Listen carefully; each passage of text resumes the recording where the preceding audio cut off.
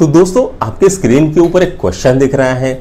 क्या कह रहा है ये question a hydraulic lift is design to lift heavy object of maximum mass 2000 thousand K G the area of cross section of piston carrying the load is two point two five into ten raised power minus two metre square what is the maximum pressure the piston would have to bear यानी हमको निकालना क्या है? तो हमको निकालना है maximum pressure ये यहाँ पर मैक्सिमम प्रेशर है, इसको निकालना है। और हमको दिया क्या है? तो हमको दिया है मास जो कि आपकी लिफ्ट बेयर कर सकती है। दूसरा भाई, हमको दिया है क्रॉस सेक्शन एरिया किसका दिया है? वो पिस्टन का है।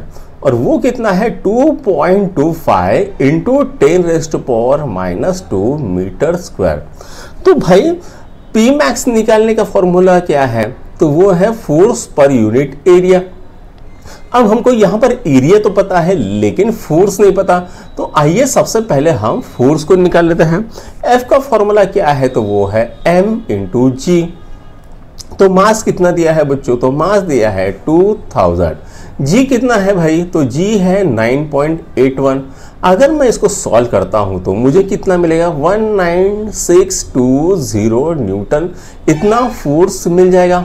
अब मुझे फोर्स भी मिल गया है एरिया भी पता है।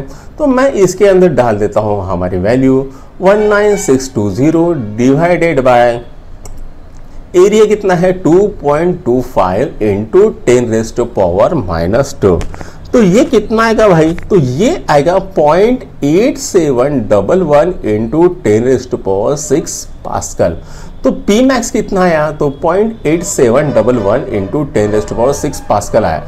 यानी ऑप्शन ए सही है तो इसको क्लिक करो और आगे बढ़ जाओ।